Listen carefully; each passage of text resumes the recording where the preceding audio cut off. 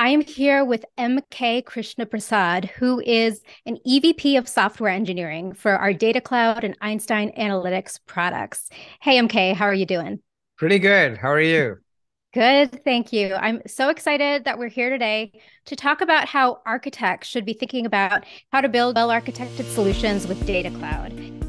Why don't we start with some of the technical pieces? I know a lot of architects are curious, like what exactly is going on under the hood with Data Cloud? So, architects on the Salesforce platform are very familiar with the transactional database layer, and we have lots of different tools to either replicate or virtualize data as well. But with this new set of tools, with this new Data Cloud capability, how is this different from what we're used to? I think the way to think about it, if you look at traditionally, we've stored all our data in a transactional database, right? And so it's great for sort of transactional, synchronous kind of writes and everything. Uh, where we run into challenges is usually in scale. Uh, and it, there's two parts to it. One is just the data scale. If you want to deal with like a lot of data, like event data and all of those coming in, that's one part of it. And second is because it's locked into those transactional systems, often what ends up happening is people pull all that data out into other systems to do other processing. For example, if you have to do analytics, you pull all the data and to put into a data warehouse. You want to do ML, you pull all the data and to put some lakes and to do it. And what we have seen is people do this probably six different times for doing other applications, doing analytics, doing uh, just lake houses, doing ML, doing uh, real time decisioning, and so on. So not only are all the data kind of leaving that system, which means it's going out of that Salesforce ambit. So you lose control on security, you lose control on all the business definitions you have done. That semantics is lost.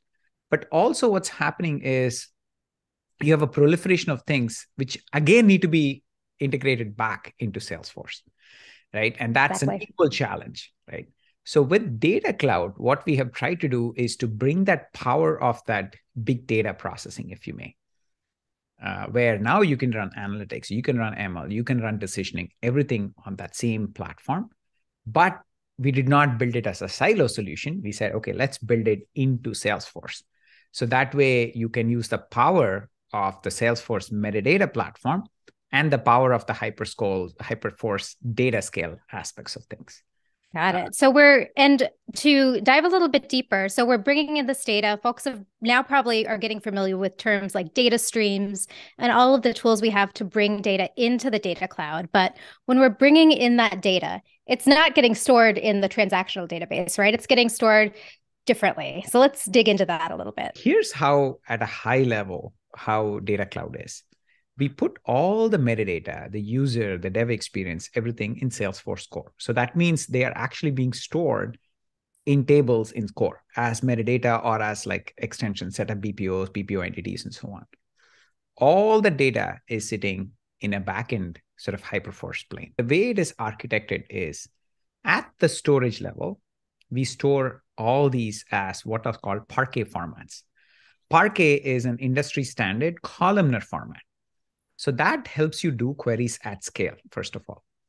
Then we integrate that with partitioning so that you can actually put high scale. For example, recently a customer uh, late last month brought in over 3 trillion rows into the system mm. in just a week, wow. Right? So the system is capable of scaling to those numbers. Uh, another example, we have tested up to 100,000 requests per second per tenant right? So these are the volumes that the system can have. Right, petabyte scale data, right? That's a, a, term that's been thrown around, and that really changes how we think about building reliable solutions. Because in the past, we th- thought about data skew and lookup skew, things like that. In this new format, we don't need to think about those limitations, right? I'm sure there are additional concerns, but it's it's built to be at a larger scale volume. That's mm-hmm. correct. The key thing what we also did was typically what happens also in a traditional lake house is these systems were built for batch, meaning you have file uploads, works great, but now you have streaming data, it doesn't quite work.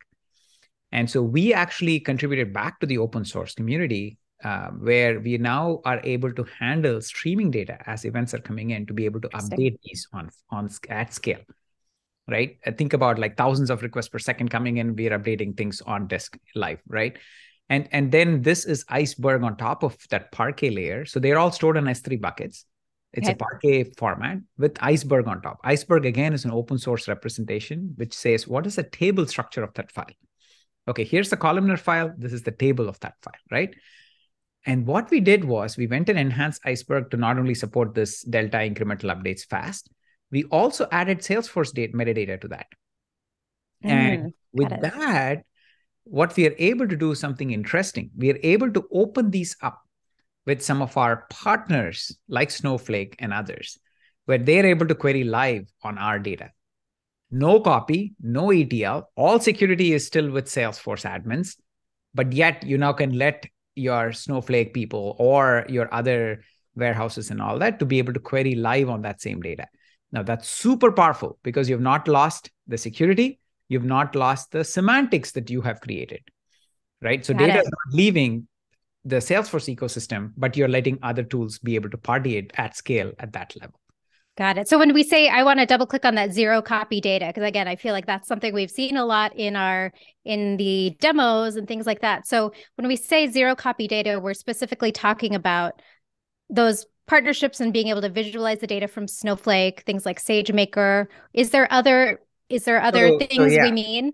Yeah, great, great question. So zero copy means multiple things. One mm-hmm. is we have data sitting in our uh, in uh, in uh, data cloud right and you want to be able to let other people use that data there are two ways they can use that data they can go via our jdbc connector that's also zero copy by the way you're doing live mm-hmm.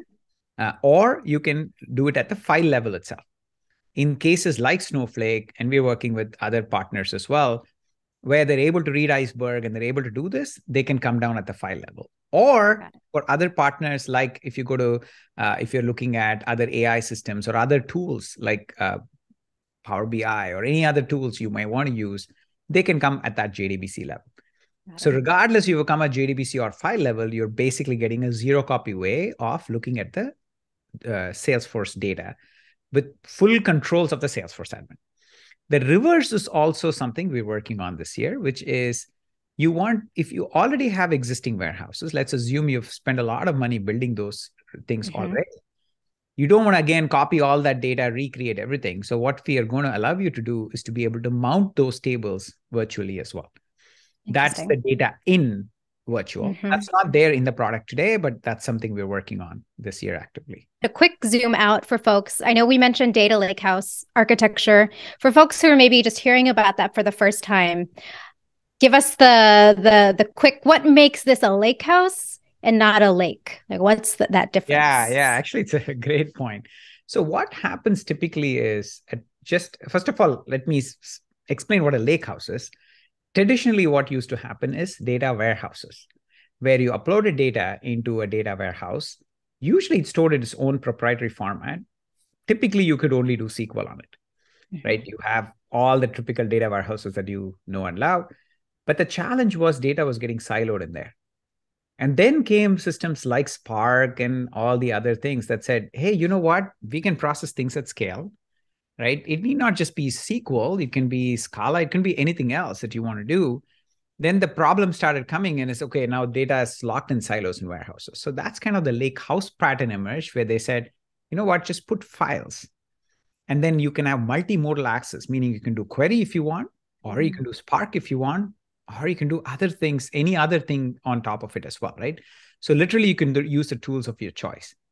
The problem with lake houses still was that they are, uh, first of all, the lake houses tend to be its own thing, and that's what Data Cloud has stalled by bringing data lake house into the Salesforce uh, sort of pattern. But more interestingly, lake houses tend to be lakes, which means stale body of water. Lakes stop here. You can analyze and predict at best and then you do a lot of work to bring that back in to mm-hmm. the engagement systems that you're using whether it's marketing whether it's service whether it's sales tableau etc what we have gone and built is the actioning part of it as well. So we make not only easy to bring data easy to kind of process it look at it unify harmonize all that stuff but you can now act on it. So that means when you look at a service case you can look at that unified profile. Or you can have a trigger that says it, because there are too many case incidents, uh, I mean, like uh, clicks happening, or maybe you can go call your salesperson, or you can go create a service incident automatically. Or you can trigger a marketing cloud journey based on that data or an ad tech right? Or come with your data personnel on tableau. All happening on that same same system. You don't yeah. build 10 different systems for it. Mm-hmm. or deal with that just thinking about how we would have done this to bring the data back before this we'd have to go through the salesforce apis which of course have their own limits. And when you're talking about this scale of data that we run into a lot of lot of issues a lot of limitations. So that's great. And I think the one thing to point out too is that we're talking about inside this data lakehouse, it's both structured and, and unstructured data as well that we can use to create these insights. Is that correct? So the way it is is the unstructured data can come in and then you impose a structure on it because we want it to be Salesforce metadata objects, right? Right. And so you can, but the data can have more other attributes that you're not using. You can impose the structure later. So it can be a schema on read practically. Uh, but you use that schema so that rest of Salesforce can work because it's an S object in the system. Right? Yes. Yeah. And I've seen, I feel like I've seen some screenshots of like using so, um, maybe it's not SOQL, but it's a, a, version of maybe it's SQL or SOQL. You can correct me, but I've seen the queries of how you would actually query uh, data within Data Cloud, and it's it looks very similar to what you would do with just the transactional database. So yeah, so that's a very important thing. So we support many modes of access of data. One is a traditional REST API of give me an object. It could be a profile and other things. Second is being part of the platform. We support all the SOQL access. So you can run SOQL, traditional SOQL, but the limited is slightly limited than the current SOQL in the sense of we we support SOQL on a single entity in in Data Lake, Data Cloud. Mm-hmm. Uh, but we're working this year to enhance it and may support much more scenarios than that. The third is we support full SQL. Okay. Uh, ANSI SQL, and that you can do at scale. Uh, because we we are not sort of uh, you're not subject to the same limits as you would on the traditional transactional platform. I would love to hear more about some emerging best practices that you've seen with implementations. Data cloud can be used in so many different scenarios. Mm-hmm. Uh, so I think understanding the scenario is number one. From a best practice perspective, understanding the models that you want to create, because that's probably the hardest part of data cloud, is making sure you get the canonical modeling right because that can determine how the data is actually looking looked at from your marketer from your sales and service and so on right uh, and so spend some time on that, understand what the canonical model is that that particular company would need or the industry would need. From an actual implementation perspective, you need to think up through okay, which what is the velocity of the data that is coming in, mm-hmm. and what is the velocity you want to put it out. For example, is it all streaming end to end, or is it batch, or is it a combination? And what do you want from that? And so those will determine sort of the success of your project. So, from a best practices, understanding that scenario, understanding the time sensitivity of that end to end path is probably important. And obviously, that comes also with the cost that uh, that you're willing to pay for that. Uh, Absolutely. And, and Data Cloud is a consumption based pricing model. And so you use, you pay for sort of what you use, if you may. And so figuring out what you need is kind of important. I'd love to hear about any experience you've had with maybe um, existing implementations wanting to leverage Data Cloud. Maybe they've been on Salesforce products for years, and maybe how that differs from like a greenfield implementation that's brand new and is ready to hook up Data Cloud. Like, yeah. what are some of those differences? Because I know a lot of architects are working in non-greenfield uh, yeah. Implementations. I think it's a very, very good question. Um, I think there is, I will answer it in two ways. One is, what is your data landscape? You got to understand that first. Meaning, are you starting fresh? In which case, Data Cloud can becoming become that store for you for all your data needs. Or do you have an expert data practice already? Maybe you already have existing warehouses, whether it's Snowflake, BigQuery, Redshift, whatever case may be. I think understanding that data landscape is important because then you need to think through, okay, uh, where is that data going to get sourced? The sort of the system of truth if you may mm-hmm. and what are the data flows that needs to happen? So that's one. That's at the data level. The second part is like i said understanding uh, do you just want that batch kind of processing? And if so what do you need from it? Meaning would you want unification of individuals? Mm-hmm. or do you have an external mdm that can already give that or not? Uh, what kind of transformations and cleansing that you may have to do right? And then what are the scenarios that you need to do? Do you need some interesting insights? For example, I give an often good example like Interbanco. It's a LATAM customer, right? They had a challenge with their marketing. This is an existing sort of application, right? They had a challenge where they were sending a lot of marketing emails. Nobody, the click through rate was very low. What they did was they just instrumented their web and mobile app using our SDK, sent the signals to Data Cloud, and then they create that simple calculated insight to say, cluster people based on their click through patterns. So, for example, uh, if you bought a new car, you will probably be clicking around a lot of the car insurance pages. Or if you're looking for a house, you will be clicking on the mortgage things, right? Based on that simple page tag, if you may, they created the clusters of people using our calculated insight. And then they did a more personalized campaign with that. They got a 35x ROI. Wow. Click through rate. Imagine, right? You get an email, you're searching for a car, you get an email that says, Hey, you get a 20% off for your car insurance the chance of you clicking on the mail is much higher than you get a random uh, something yeah. else, right? Here's a pizza coupon or something. So, so I think so that is the power you can do and an existing thing too. Got it. Yeah. That is the power of data, right? Um, and and so so that's kind of like the second layer, understanding that scenario and seeing what you need. Then the third thing is what is your actioning systems? Is it service cloud? Is it sales cloud? Is it marketing? Is it commerce? All of the above, right? And that's important because then you need to know what are the integration points. If it's a service scenario, okay, it could just be they want to look at that unified profile and all the engagement that people are doing. Or maybe you want to be triggering off a service case based on things that are happening in the environment, right? Mm-hmm. So understanding that is very, very critical, right? Right. Um, and yes.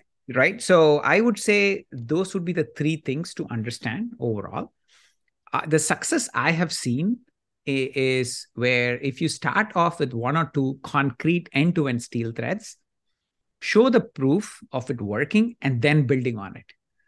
Right? Because and explain, and I've heard you say this before, but explain very quickly steel thread. What do you mean when you say steel thread? what I mean by a steel thread is take one end-to-end concrete case. It could be something like I want to take my sales data, my marketing data, bring that together. And i want to be able to analyze and figure out who's my uh, who's propensity for them to uh, buy uh, based on their past history and their engagement patterns. Maybe i want to run a campaign on it. That's one steel thread right? Got it. and what this forces you to do is to think through everything i said which is okay where are the data sources? What is the output what do i need to do processing in the middle right and then when you prove that out it proves everything, all the integration points.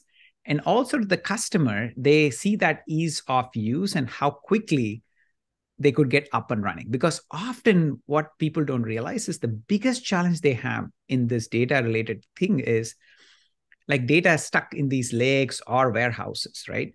For anything for the business to do, they have to go a large part to their IT department, file tickets, have them write some SQL query. Only some SQL experts know to do. It's it's like a massive overhead, right? With Absolutely. this, mm-hmm. cause data cloud now lets IT control the data, but it democratizes the data to the right audience. So you could showcase how quickly this end-to-end thing can be built. And then from then they can actually the business can actually leverage value. It could be a marketer who could go create new segments or if it's a service person they can start creating new alerts themselves right? Things like that. I, so that. that would be i would say the best success is doing that. I love uh, that. And that's a great that's a great tie to I think the way architects are thinking now with Salesforce well architected. So you mentioned a lot of things like being able to measure those clear KPIs, um, making sure that something's simple and easy to maintain. I think there's just like lots of threads that we're going to be able to use Data Cloud to build really impressive i think business value driven solutions and i just i think in in wrapping up any other ways you can see that architects will be able to build these well architected healthy solutions with data cloud? Any parting parting words for our architects that are watching this? As architects don't be afraid of data right? You can now tame it and you can use it to your heart's content whether you're looking at one cloud two cloud two orgs three orgs doesn't matter or 100 orgs. I think the power of data cloud will be in your hands. You can bring more of it and sort of do more insights and actually have a better customer experience overall. Well, thank you so much for your time, MK. It's been a pleasure to speak with you and have a wonderful day, everyone.